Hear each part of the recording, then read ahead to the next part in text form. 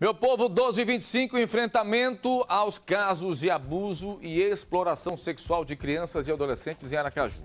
A Secretaria Municipal da Assistência Social vai realizar, uma, em parceria com a Infraero, um, e inicia uma série de atividades de conscientização da população local e turística no Aeroporto Internacional Santa Maria. Quem vai explicar um pouco mais como é que isso vai funcionar ao vivo é a repórter Sara Medeiros. Sara, muito boa tarde para você.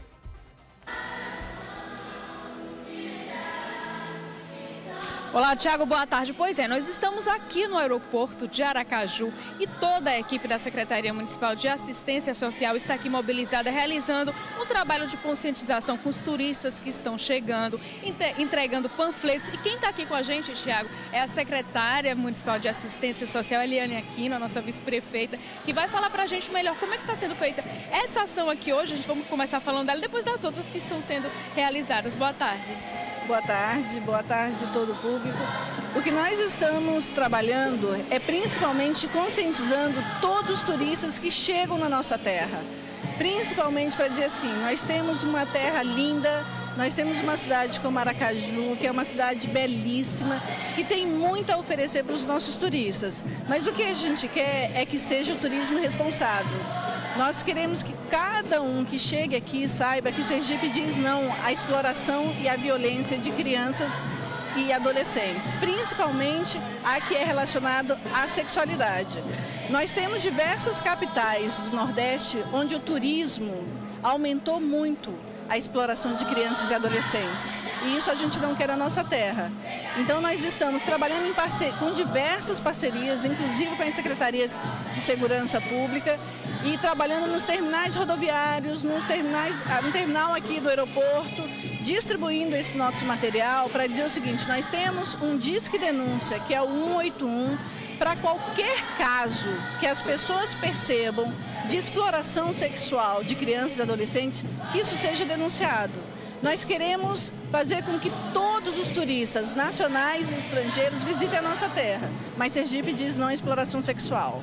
Eu vou pedir aqui para o nosso cinegrafista focar aqui no material de divulgação, olha só, que é esse justamente esse encarte aqui que está sendo distribuído aqui com os turistas que estão chegando aqui à nossa cidade, né, com informações importantes desse combate da exploração sexual infanto-juvenil e também com o número, né, do Disque Denúncia, né, secretária? Tem esse cartaz aqui maior também, porque é um problema aqui, ó, Disque Denúncia, o Disque Denúncia, o 100 ou 181, é importante. Vocês é, estão realizando essa ação hoje aqui no aeroporto Santa Maria, que eu sei que